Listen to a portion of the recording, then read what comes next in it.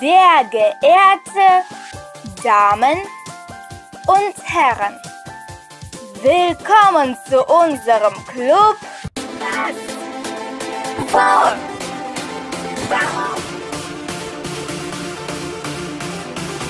Die erste Frage ist von Georgi aus Russland. Georgi möchte gerne wissen,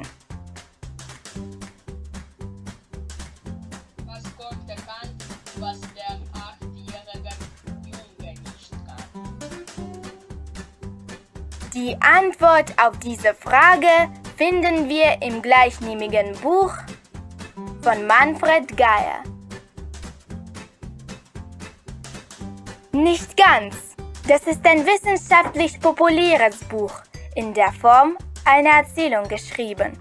Die handelnden Personen sind der Philosoph Manfred Geier und sein achtjähriger Freund Toni. Sie unternehmen viel zusammen, zum Beispiel essen zusammen, nach einem verlorenen Hund suchen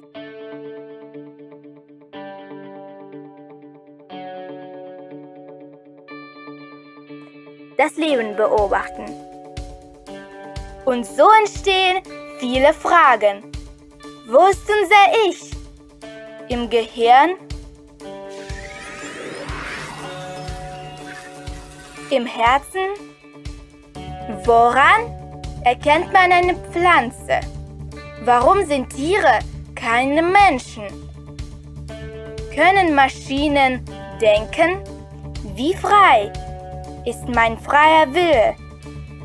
Das Buch gibt die ersten Kenntnisse über die besten Philosophen wie Platon, Descartes und andere mehr.